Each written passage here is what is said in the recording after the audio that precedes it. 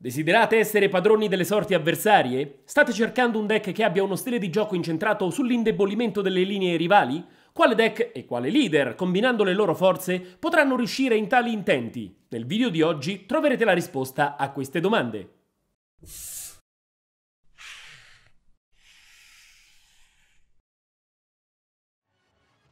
Signori, bentornati sul canale con il nostro consueto appuntamento settimanale. I tre capitani hanno iniziato con le loro scorribande e tra tutti due stanno dettando legge attualmente ricavandosi un piccolo spazio all'interno del meta attuale, ovvero Luffy e Law. La variante bicolore di quest'ultimo inizialmente ha suscitato in me un moto di indecisione, non riuscendone a comprendere il funzionamento appieno, ma grazie anche al supporto di Nicolò, un ragazzo che frequenta la fumetteria Grande Inverno, ho iniziato finalmente a capirne le meccaniche, innamorandomi del medico della morte e delle sue strategie. Nella profile di oggi quindi andremo ad analizzare le dinamiche che muoveranno questo deck, scoprendone le caratteristiche che lo renderanno pericoloso nel meta attuale e quali saranno le sinergie che offrirà a tutti coloro che vorranno vestire i panni del capitano dei pirati Hurt. Prima di continuare, se ancora non lo avete fatto, iscrivetevi al canale, così crescendo potrò portare sempre più contenuti interessanti e ricercati dedicati allo sconfinato universo dei TCG. In più in descrizione troverete anche i link che vi riporteranno al profilo Instagram, dove pubblicherò storie per aggiornarvi su nuove uscite molto altro ancora, e alla pagina Facebook. Grazie infinite per il supporto. Torniamo al video. Ed ora scopriamo assieme la lista del mazzo di Trafalgar Law rosso-viola. Andiamo a dargli un'occhiata.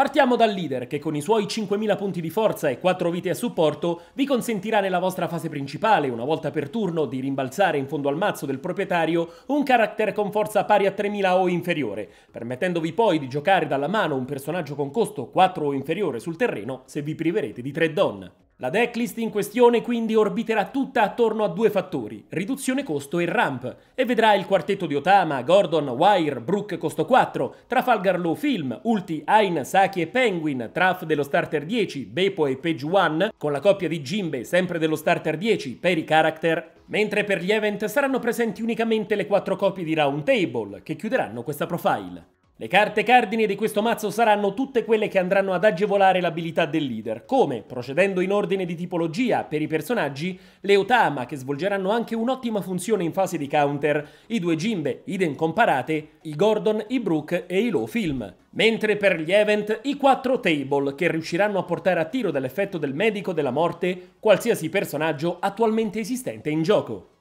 I restanti elementi invece vi aiuteranno a rampare, minimizzando i danni che il meno 3 vi potrà infliggere. E grazie a Beppo, Ain, assieme a Penguin e Sachi, il carico di privazione dei don di certo risulterà essere meno pesante.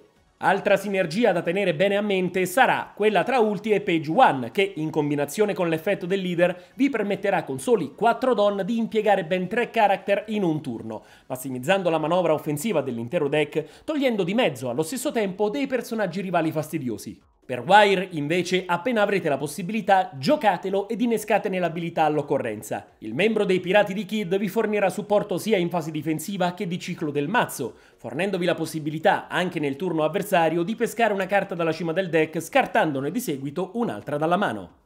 Infine i Trafalgar Blocker vi schermeranno dagli assalti rivali venendo impiegati con l'effetto del leader, entrando in perfetta sintonia anche con i già menzionati Wire, se innescherete l'effetto del capitano nell'evenienza che chi vi giocherà contro possiederà 7 o più carte in suo possesso. Quindi, dopo aver visto l'intera lista e alcune dinamiche che la muovono, passiamo ora a qualche strumento utile per conoscere meglio il mazzo, ponendoci come sempre la solita prima domanda. Come funziona questo deck? Non sarà a primo impatto semplice da giocare, dovrete calcolare al millesimo ogni singola mossa per far rientrare perfettamente ogni costo a vostra disposizione in modo tale da massimizzare nel migliore dei modi la presenza di forze alleate sul terreno. L'impiego di Sachi e Penguin, Ain e Beppo inoltre vi alleggeriranno il carico mancante di Don disponendo di risorse sempre pronte per essere giocate nel turno successivo con micidiale freddezza e con il supporto fondamentale delle varie fonti di riduzione forza nessun personaggio personaggio avversario potrà dormire sonni tranquilli. Per la fase offensiva questo deck sarà letteralmente una versione 2.0 del tipico deck Zo,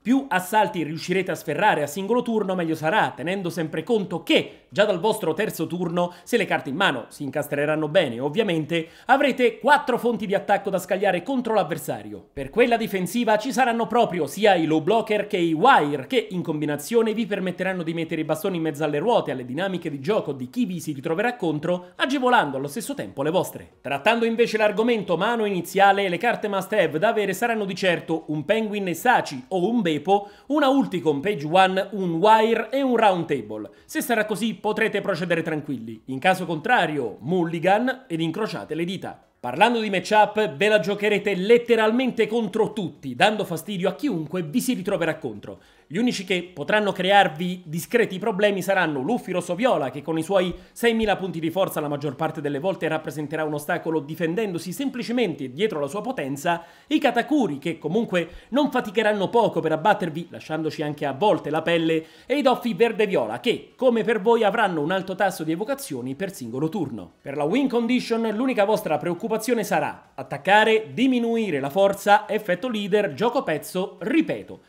In questo modo avrete sempre forze pronte a scagliarsi contro le vite rivali, pressando e non poco le difese nemiche che dopo i primissimi turni di gioco verranno già messe alle strette se la manovra offensiva andrà in porto. Invece le carte obbligatorie che non potrete assolutamente sostituire con nessun altro elemento saranno i Gordon, le Otama, i Brook, i Saci e Penguin, i Bepo, i Low Film, anche se a volte non vengono neanche giocati, i Truff dello starter e le Round Table.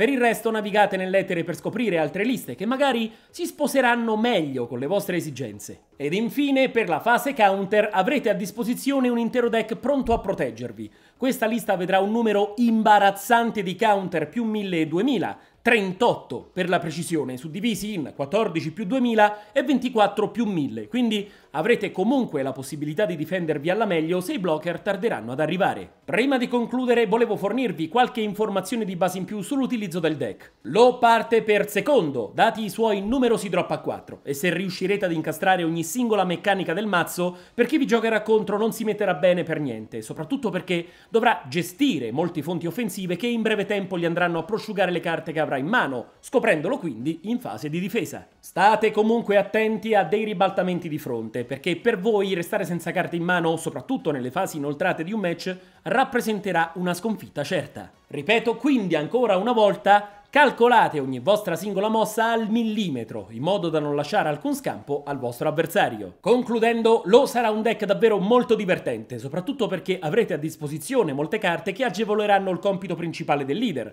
E a tal proposito, non mancherà occasione di vedere colossi appena entrati in campo essere accompagnati il turno successivo con grazia e gentilezza in fondo al deck del proprietario. E voi avete già testato le meccaniche intriganti del medico? Come sempre, fatemelo sapere nei commenti. Mi auguro che questo video sia stato di vostro gradimento. Prima di salutarci vi invito a cliccare qui a sinistra se vorrete scoprire altri contenuti interessanti legati al mondo dei TCG. Vi ringrazio di essere stati in mia compagnia, noi ci vediamo al prossimo video.